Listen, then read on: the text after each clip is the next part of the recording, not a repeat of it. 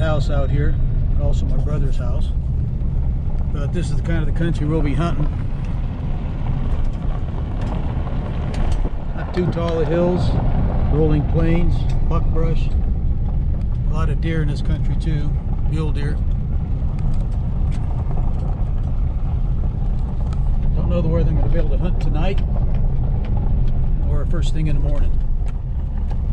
Actually, my buddy invited me to stay out here.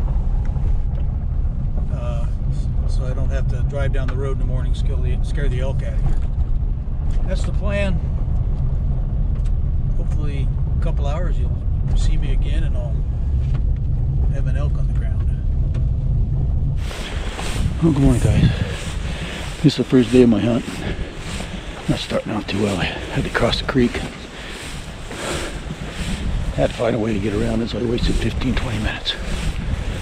So it's the 22nd of September. I think I just heard a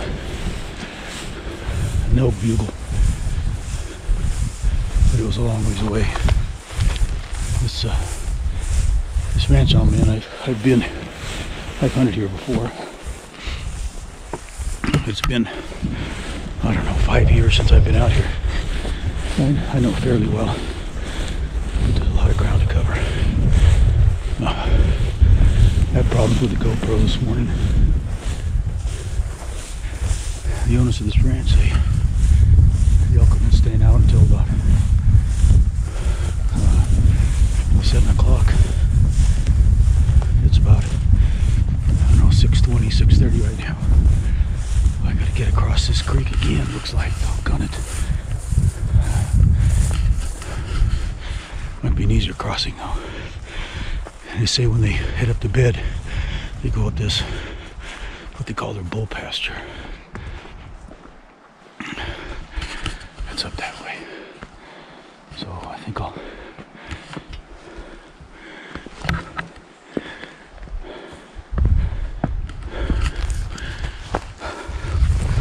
I'm only about a mile from the truck right now. I don't have to cross it again. That's good. There's we got 25 to 30 mile an hour winds this morning, so it's a gust up to 40. so wind is going to be a big factor today. Uh, as long as I can stay downwind from them, I should be okay.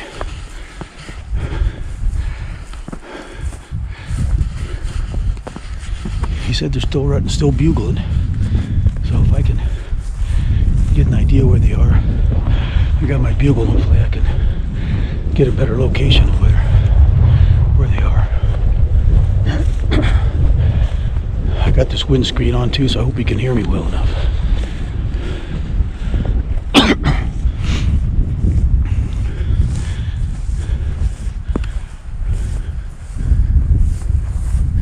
Pretty location, though, isn't it? Oh, I think I smell them.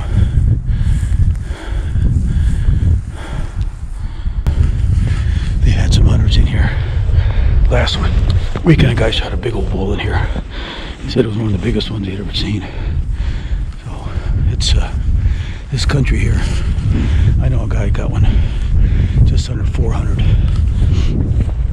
And for those who don't know what that is, it's it's a scoring of uh, of the antlers on the elk. But uh, there's some big elk in here. I think when I get on top of that ridge, I'll be able to see there's a big valley on the other side of that. I don't hear any bugling. I'm headed up that way, so I'll see you guys at the top. It's like a crossing right here.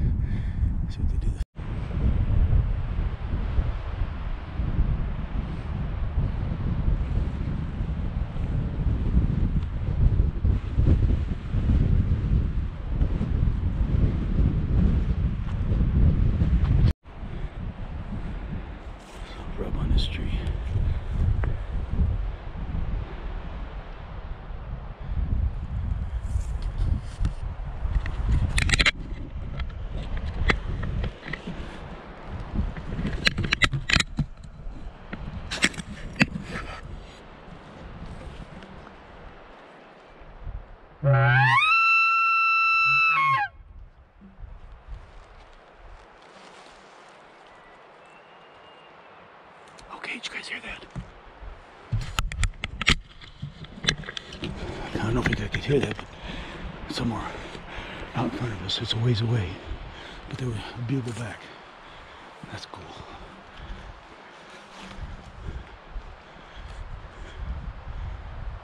All right. We're gonna be headed to timber pretty soon. The sun's up. Oh, here he is, right here. He's getting close. He's getting close.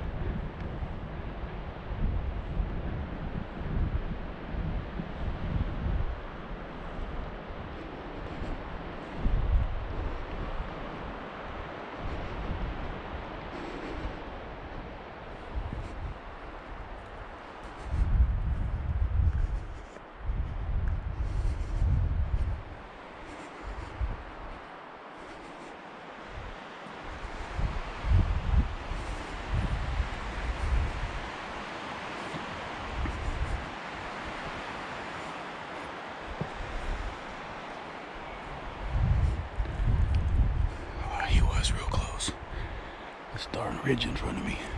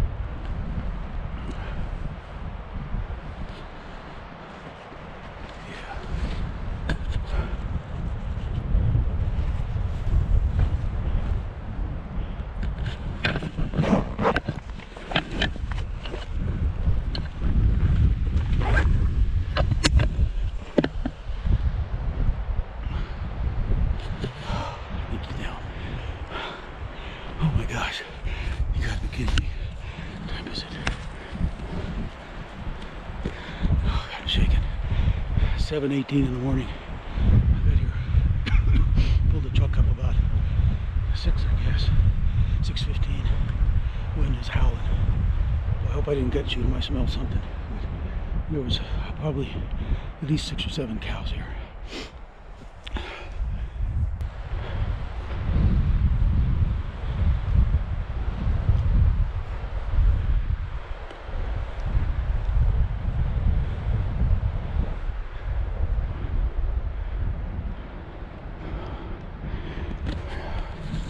You tell I'm just gonna let him expire there instead of pushing him.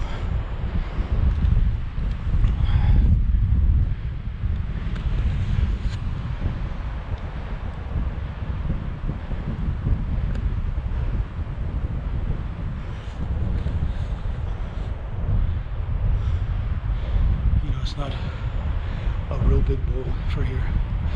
But you know what? I, I've never been a horn hunter. I'm more, I'm more of the meat hunter. And I just love getting out and doing this. That's what it's all about to me. But look at how beautiful ranch is, though. Oh, I thank my friends Jay and Ken for letting me let me hunt out here. Just, I thought it was going to take three, four, five days to get onto one and find them, just because what they were telling me earlier about about those guys coming in and push them out. They've had uh, before me two bulls.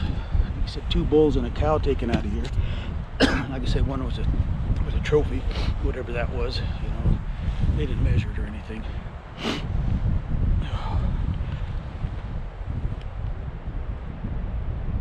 I'm gonna give him some more time here. Man, all year long for this. I know all you elk hunters out there wait all year long for this too. I Haven't seen them move yet. But anybody ever tells you elk hunting's easy, they're lying to you, I can tell you that. You know, especially for an older guy like me, but I try to stay in shape.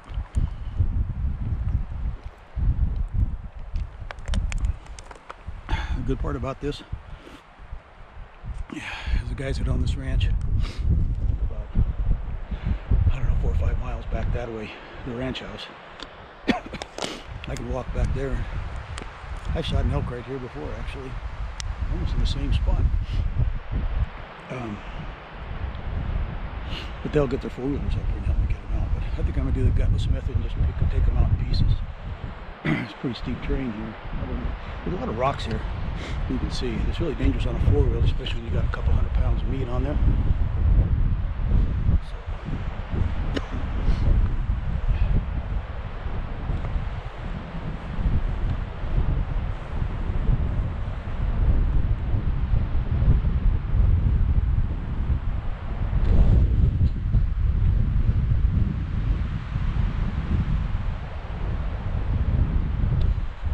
Looks like he might have kicked a little bit still.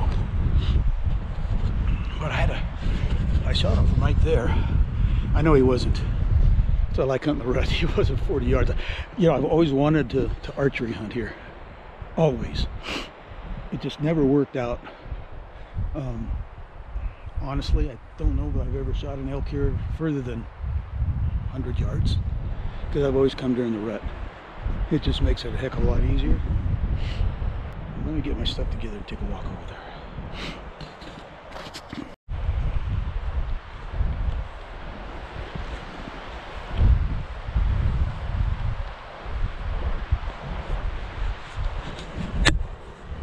Another thing about elk, they're they are really, really tough.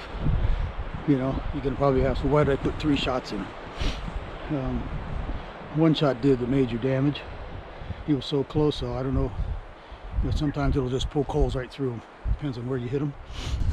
But uh, the second shot, I think I missed him, hit a branch. And I hope we got that on video. Um, and the third shot, I that's what that's what put him under. just walk up slow too. I'm have to drop the camera if something happens. I, I think he's done now though.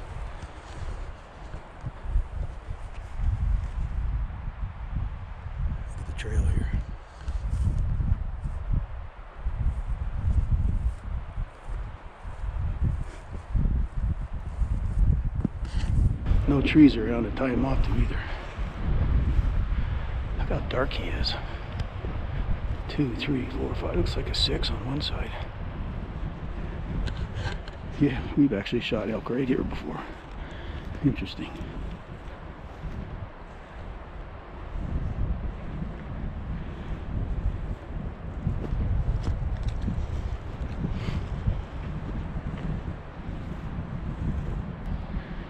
He's upside down.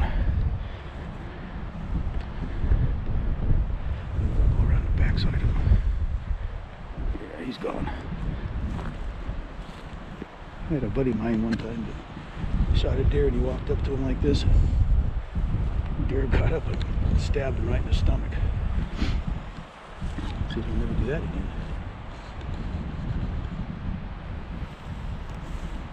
Phew. Sure stink.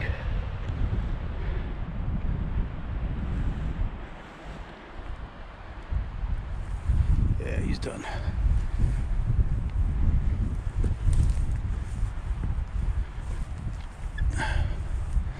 He's got some good mass to him, though. All right, let me unload this gun. Tell he's been he's been fighting. Oh, he's a nice bull. Looks like he bled out pretty good.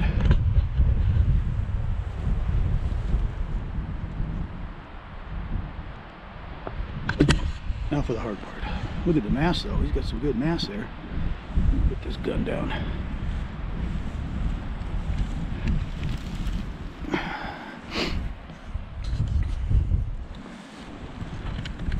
That's his lungs right there. Thanks, buddy.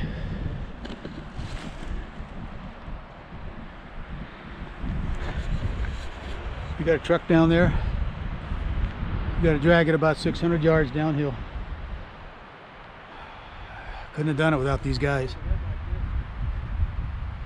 So we did the gutless method. We got four quarters, the back straps, the hands, or the loins, of course the skull. Thanks you guys for watching. I'll do an outro in a little bit after we get everything down the hill.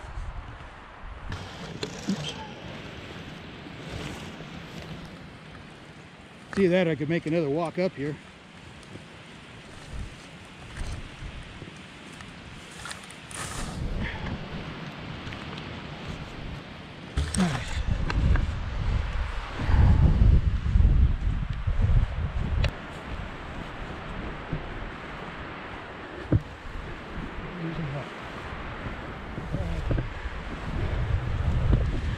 Just grab one, Jay. I'll come back and get the other. Too hard to do two of them. Are you stubborn? Yes.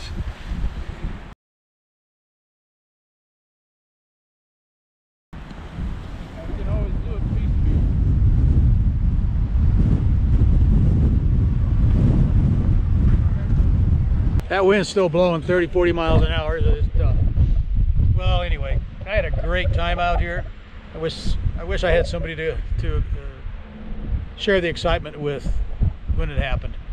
Hopefully the the camera caught the elk coming in. Hopefully it got the shot. I don't I don't know. It happened so quickly, which it usually does. But um, that's my wrap up for the 2022 elk hunt. Boy, one hour. I mean, how can a guy how can a guy beat that? You know, I mean, it's unbelievable. So, uh, again, thank you so much for, for tuning in here. If you haven't subscribed, please please do. Um, we do a lot of hunting, a lot of fishing. Uh, hit that notification bell if you would, and give me a like, thumbs up, and uh, we'll see you on the next adventure. I'll be antelope hunting in a week. So, see you then. Thanks, everybody. Talk to you later. Goodbye. Adios.